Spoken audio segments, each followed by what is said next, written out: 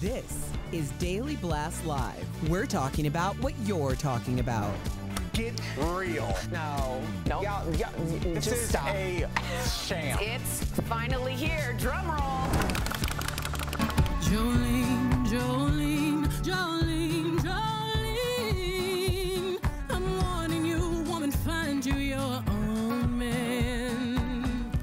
Welcome to DBL. I'm Steph in for Jeff, and that was a clip of Beyonce's cover of the song Jolene that's on her new album, Cowboy Carter.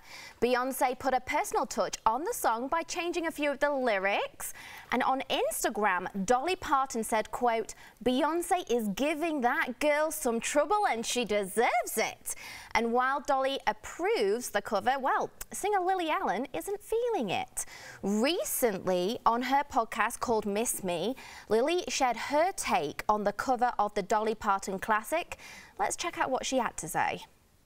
It's very weird that you cover the most successful songs in that genre. Yeah, I just feel like it's quite an interesting thing to do when you're like trying to tackle a new genre and you just choose the biggest song in that genre to, to cover. I mean, you do you, Beyonce, and she literally is doing her. Or is she doing Dolly? Mm, so despite what Lily Allen might think, many are enjoying the new version of the song, like The View's Jay, Joy Behar, who likes Beyonce's take on the lyrics.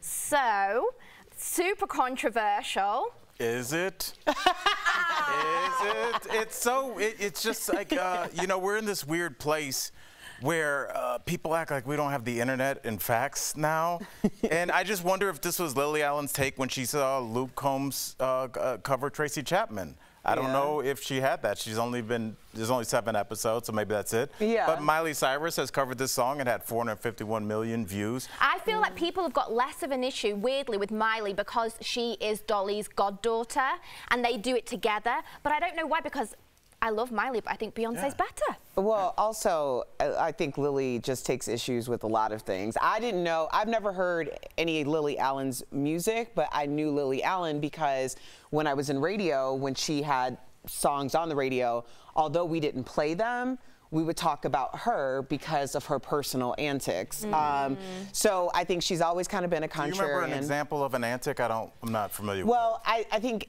in recent years we've learned that she's had some it, some mental health issues, so I don't want to like rehash those Oh, okay, things. thank you. Okay, but no more, um, no yeah, but she has been known as a as a contrarian, and I feel like going after it's ironic that she's talking about Beyonce going after the biggest song when she's going after the biggest artist on her very small podcast that only has seven episodes. And I people use a lot of different tactics. We just talked about Tori Spelling mm-hmm. calling her uh, soon to be ex-husband saying that she's going to file for divorce.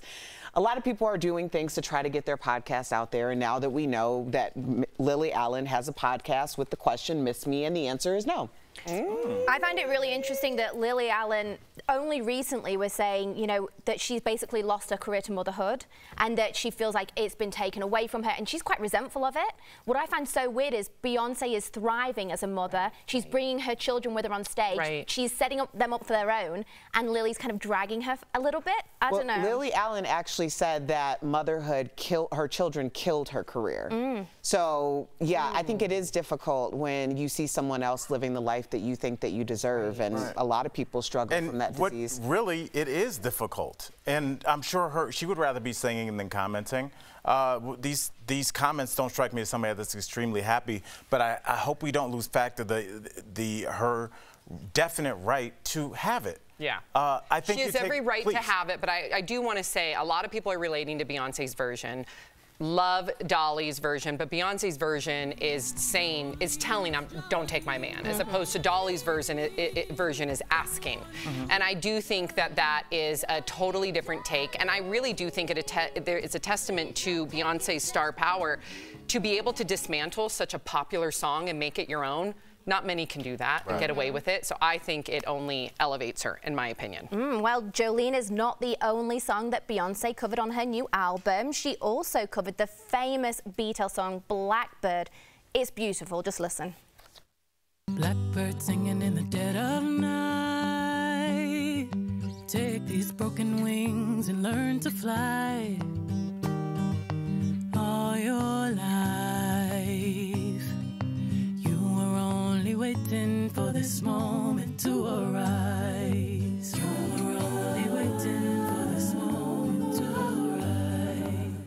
Sir Paul McCartney took to Instagram to praise Beyonce for reinforcing the civil rights message that inspired him to write the song in the first place. So, for those that don't know, the song was written by Paul in 1968 about desegregation in American schools, specifically about the Little Rock Nine. They were the first group of black students to desegregate Arkansas High School in 1957. What do you guys think of that news? Look at that photo. I know. Like how horrific. White people taunting like Children. children. It is it is abhorrent, but it's important that we know our history. And for Paul McCartney at the time to write about it, kudos to him. I'll throw myself under the bus. I had no idea that song meant the Little Rock Nine. I, I don't think a lot of us Well, knew. now I do Yeah. because of Beyonce. And apparently, Beyonce also made sure that four female African American country artists who are very talented were also featured on the song. And in fact, there's a TikTok video of uh, Tiera, one of the singers, reacting to being able to hear her voice on Blackbird with Beyonce for the first time. Isn't that beautiful? Yeah, I um, one of the Little Rock Nine, Miss Carlotta uh, Walls Lanier, and she was on the the top row all the way to the right.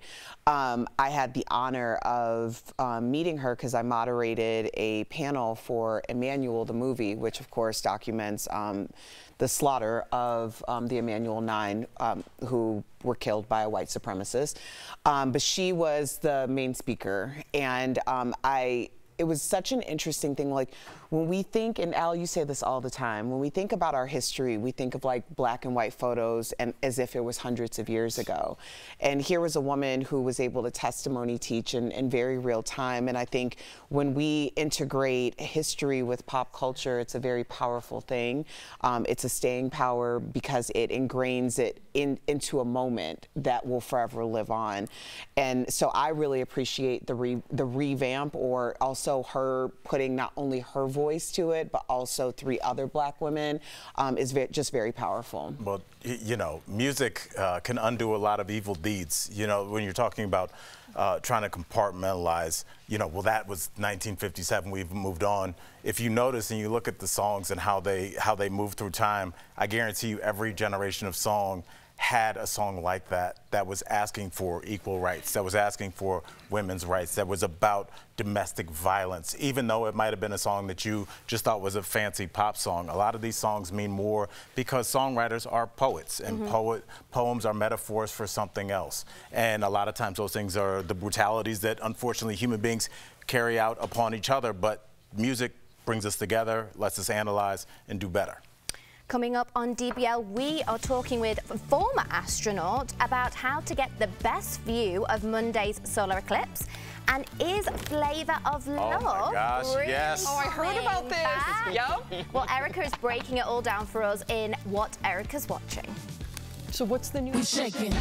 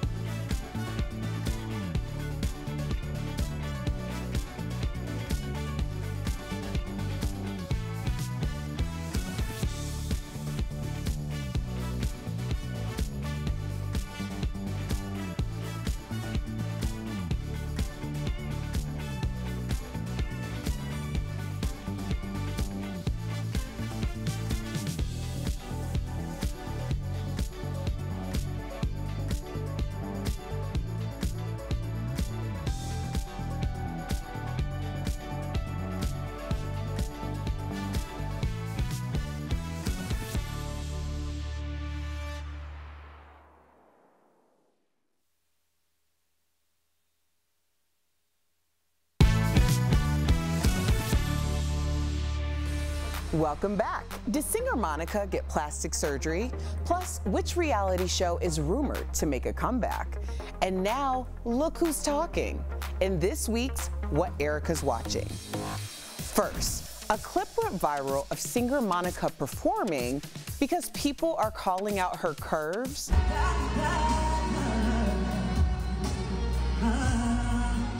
Well, she showcased her eye-catching figure in an emerald green catsuit, fueling rumors that she had a Brazilian butt lift. Well, Monica kept it real in her response, and she even shared her secret.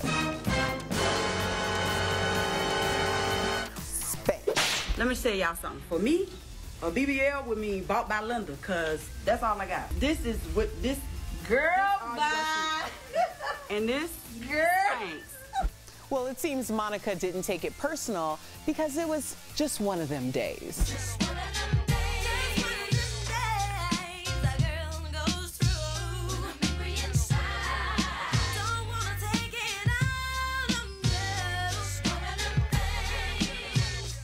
Next, fans of all the juicy drama that Flavor Flav stirred up with three seasons of The Flavor of Love were so excited to hear that he was making a comeback by rebooting his iconic remix of The Bachelor. You shouldn't be on the date. That's why I left. Because I need one-on-one time with my man. Well, you I should didn't have wanna let it told off Flav to I respect him. told- You should have said. tell me what I you should should've said. told That's him. And reports online said that he would be matchmaking contestants instead of looking for love himself.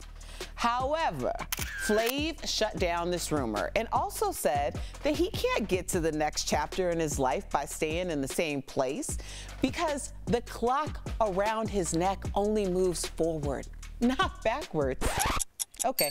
Well, however, Flav also said he's already partnered with a production company for future projects, so maybe there's actually another remix to a popular reality show in the making.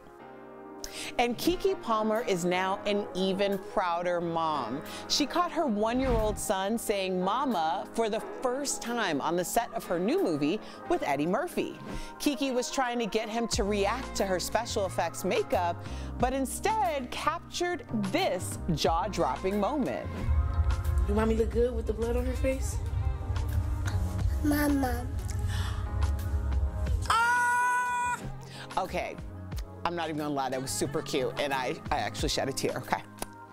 Share with me anything that catches your eye by using the hashtag DBL Erica Watch. We'll be right back.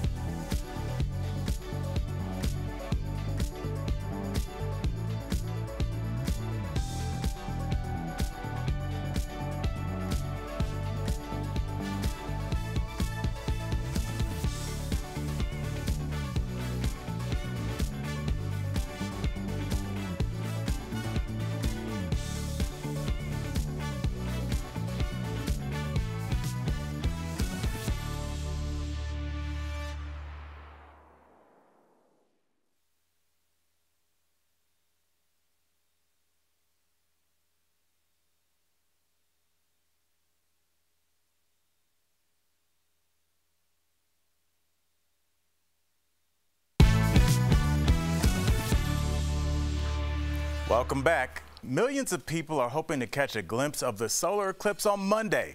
Earlier, we spoke to former NASA astronaut Terry Virts about the rare event that will turn day into night. Terry Virts, welcome to DBL. Good to be with you guys. Terry, I'm so excited to talk to you today. So, we're going to jump right in. You are a former NASA astronaut, which is super cool, and you have conducted three spacewalks and spent more than 200 days in space. What is your favorite thing about being up there? I've got to say, so floating is cool. Getting to move around, you know, walking with your hands is very cool. But the view just can't be beat. I, I took a lot of pictures, uh, shot a lot of video, um, looking back at the planet, looking out in the galaxy. The view, I could talk for hours about it, and I often do. It's it's really spectacular. That doesn't include a moonwalk, does it? Spacewalk and moonwalk are two different things. Moonwalk. There, uh, moonwalk is like a spacewalk because there's a vacuum there. Again, you can't take your helmet off on the moon, but at least there's gravity, so you can kind of bounce around like our Apollo guys did back in the 60s and 70s. Uh, have you ever been on the moon? He's very, he's like nine. Nobody, nobody's been on the moon since 1972. It's been over 50 years. Why not, T-Bone? Uh, it's just it's just money. Uh, It's just time and money. So uh, have to talk to the politicians about that. But we'll be going back soon. NASA has a program called Artemis. Hopefully, we'll be back on the moon before too long. Okay, I'm done. Many people are looking forward to the solar eclipse happening on April 8th. Yeah. Can you explain what is going to happen? I, I'm looking forward to it too. So the moon goes around the Earth about once a month, and, and there's always a shadow for the moon. So um, the sun is always shining on the moon, and there's always a shadow that normally just goes out into space and nobody sees it. But every once in a while, the orbit lines up just right so that the moon passes in front of the sun. And when the shadow lands on Earth, we call that an eclipse because people on Earth can look up and see the sun blocked by the moon. On April 8th, um, it's going to happen in America. It goes from Texas through Cleveland and Buffalo up to Maine. Cavs. And so millions of Americans can see this. Now, uh, experts are expecting up to 4 million people to be watching this solar eclipse. So please tell us, how do we watch it safely? I know it's don't look directly into the sun. So I'm partnering with Sonic. They're really promoting this eclipse and, and STEM. Uh, they have a really cool space treat we can talk about in a second, but you can get, uh, you need some type of eclipse viewing glasses, and you can get these at Sonic, but um, you need something that's very dark. When I put these on, You they're almost great. completely black. They look, first of all, they look cool, right? But they're also super dark. They're not like normal sunglasses, and you need something safe in order to look at the sun without permanently damaging your vision, which you don't want to do. No, you do not. All right, they Some gave people me have to wear those when they look at me. because of how, how hot you are. Just the whole.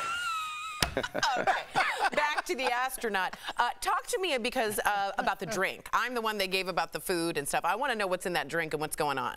They're making a special eclipse treat. It's called the Blackout um, Slush Float, and it's black in honor of the eclipse. It tastes like cotton candy dragon fruit, so it's kind of a sweet slush, and they've got some soft serve and some galaxy sprinkles on top. So Oh it's a very goodness. space space themed thing. And between now and the eclipse, if you get one of these, you will get a pair of eclipse glasses for free. So you got to get your eclipse glasses anyway. You may as well go to a Sonic and get um, get your free eclipse viewing glasses also. You've seen a few eclipses, Terry. Which is the most memorable for you? In 2015, I was on the ISS, and uh, there was an eclipse over the North Atlantic. So it was one of those times where you know people don't really see it, but it happens. And we didn't know if we could see it, and, and we looked off. It was off to the north, and there was this big black hole on Earth. It was really weird, um, unlike anything I'd ever seen for sure. So it was kind of an unexpected bonus, but I did get to see an eclipse from space. Wow, total eclipse of the heart is what he saw. All right, Terry. There you go. Back to me. Speaking of seeing things, have you ever seen weird things in space, like aliens or something you just couldn't describe? Giggled. so you got to read my mo- my most recent book, How to Astronaut. I got a chapter about aliens. Um, I I did not actually see. Um, any aliens, and so it, it was amazing. I saw incredible things that I never imagined, but it was nothing unexplainable. But you know, at the end of the day, there's billions of stars out there. There's billions of planets out there. So you'd think if there's life here, there must be life somewhere else. Life is incredibly complicated. I don't think it just happens on its own. So Um, I don't know if it's out there or not. Even if there's other life out there, I don't know if they would ever make it to Earth. But may, you know, maybe now that the Sonic slush is here, maybe they'll want to come grab one. Here, we need we need to grab a Sonic slush and talk some more off camera. Okay, you could give me the real Exact- yeah, goods. exactly. He's But we'll talk about Area 52. Everybody talks about Area 51. Area 52 is the one you want to hear about. Thank you so much for joining us on DBL. Thanks for having me on. And putting up Thanks with our having on. antics. Again, to our viewers, as Terry mentioned, you can receive free Eclipse viewing glasses with the purchase of the limited time Blackout Slush Float while supplies last. Thanks again, sir. We'll be right back. Thank you.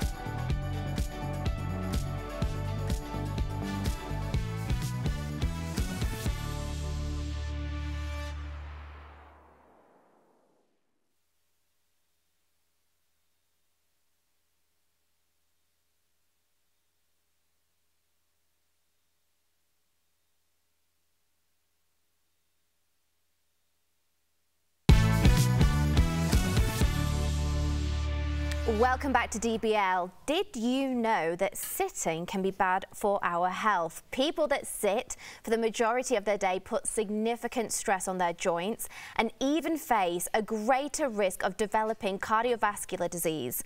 But new studies show that doing just 30 minutes of exercise daily can reverse that risk. So, do you guys all get daily exercise? Are you like sweating it out in the gym? I at least try and do a walk after dinner, but my old agent used to have a standing desk. Mhm. But then, and it's like, it's good for him, but then I go in there and sit, and then there's this weird dynamic. so Power I'm like, dynamic. should I stand too? Yes, you So- should. Yeah. Yeah. So then it's a strange meeting. It's almost like a confrontation rather than a meeting. Something that can help your joints in addition to Al and his fear of standing desks um, and getting your daily exercise is Omega XL. It's a powerful joint support that's helped millions of consumers and is backed by 30 years of clinical research. Omega XL's powerful and proven benefits have transformed the lives of athletes, celebrities, Al, and dedicated daily users. Call 800 630 5419 or visit omegaxl.com for more information. And before we go, horrific, we've got a teaser for the new horror Bambi movie. Don't even want to look at this. Let's see. Oh.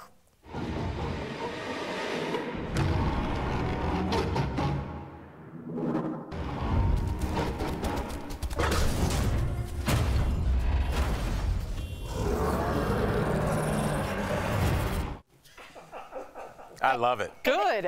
It appears that Bambi is taking out revenge on the hunter that killed his mom, which I totally get, but that is I've been waiting for this ulterior ending, alternate ending for quite some time because I still have not seen Bambi since I saw it when I was little because of that Oh very my gosh. fact. Honestly, that- traumatizing. That, was one of the most, that was a core traumatizing memory. I Me too. remember sitting with my neighbors and their mom, and I was just crying and crying. Like it, that affected me Oh, so don't. Oh my gosh. This That is movie horrific. affected Are, you? y'all better not. You Dude, better don't not play you that dare show that part. What? You better not. That is You a- mean the only part that's not boring? Oh, wow. No. What? Uh, DBL is new every day. We'll be back on Have you Monday. rewatched Bambi? Same don't think time, so. same place. No one Stay has. away from that stuff of nightmares.